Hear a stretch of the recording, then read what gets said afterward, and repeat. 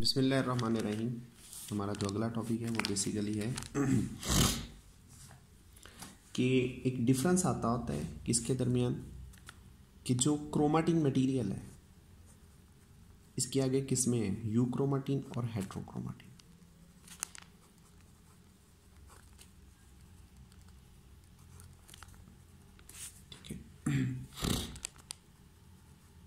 अब ये chromatin material क्या है?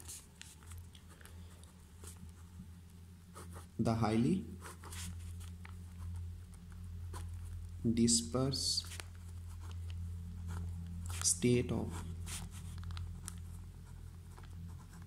DNA material is called chromatin ठीक है सपोज़ दैट आपके पास बेटा ये सेल। न्यूक्लियस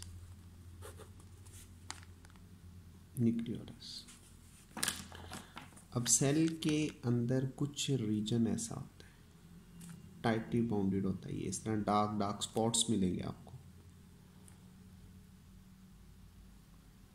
ठीक है? ये पूरा न्यूक्लियस है।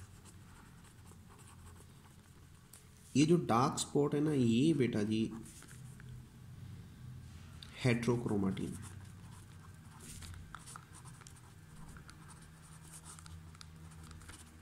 और ये जो लाइट रीजन है, ये यू क्रोमाटिन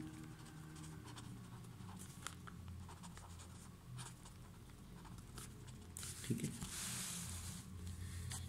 इसका मतलब ये जो क्रोमाटिन मटेरियल है, ये दो तरह का होता है।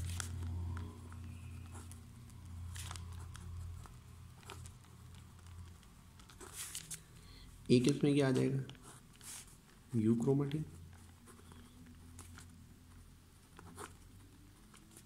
और एक इसमें आ जाएगा? हेट्रोक्रोमाटिन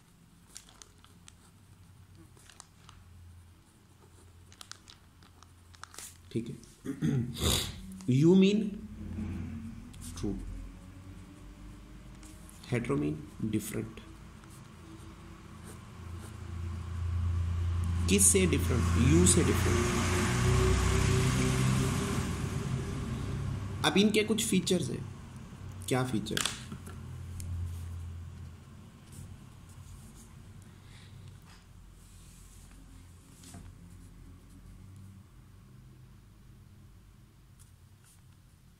ये पहली बात, ये लूजली बाउंडेड होते हैं। जबकि ये टाइटली बाउंडेड होते हैं।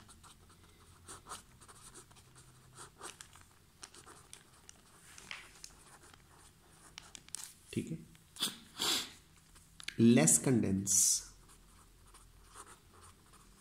मोर कंडेंस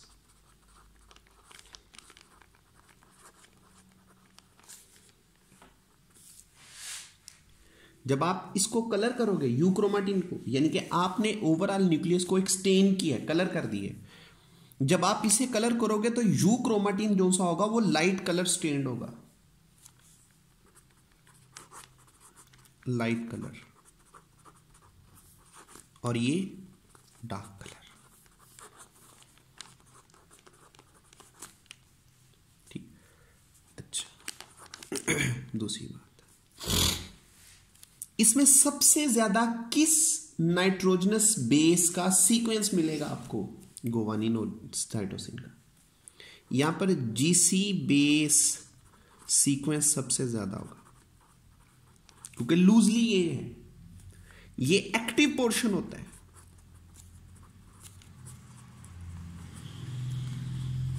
ये क्या है? यहाँ पर ए और टी का बेस सीक्वेंस सबसे ज़्यादा मिलेगा आपको। और ये नॉन सेंस एरिया होता है है।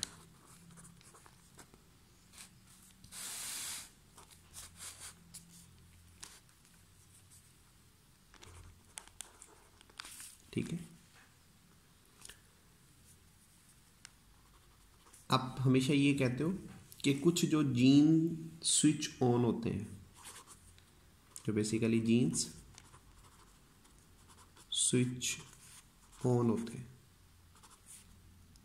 वो कौन से होते हैं? ये वाले, यू वाले। ठीक है? जिनके जीन्स स्विच ऑफ़ होते हैं।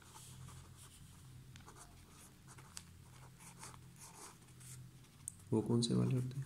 हेट्रोक्रोमेटिक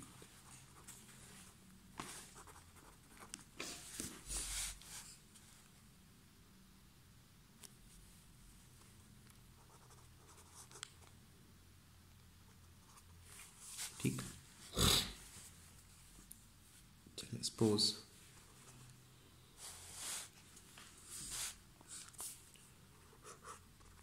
आपके पास ये सेल है? आप ऐसा करें, इसके न्यूक्लियस के अंदर जो मटेरियल है, उस मटेरियल को बड़ा कर लें।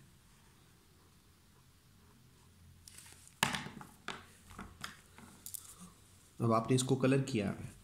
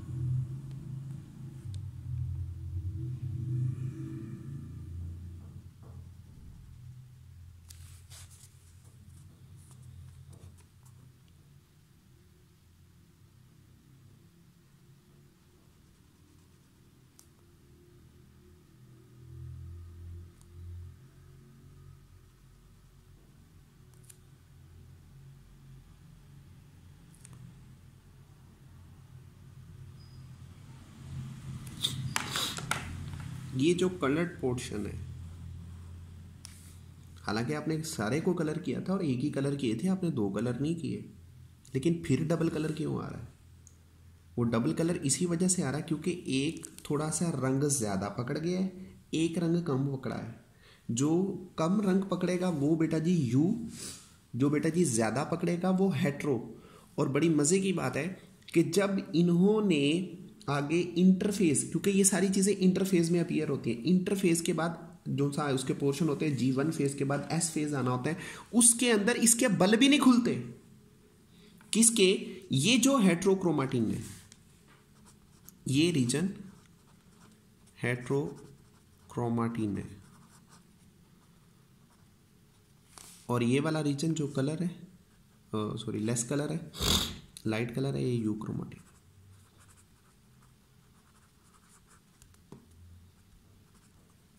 ठीक है? ये टाइटली बाउंडेड होता है, इसके बल भी नहीं खुलते। ये कॉपी भी नहीं होता, लेकिन ये वाला लूजली होता है, ये कॉपी भी हो जाता है। यहाँ तक बात समझ लगी? तो ये दो एक डिफरेंस था। डिफरेंस किसके दरमियान था? यू क्रोमाटिन के दरमियान और हेट्रोक्रोमाटिन के दरमियान। ठीक हो गया? बस ये आपने कर लिया।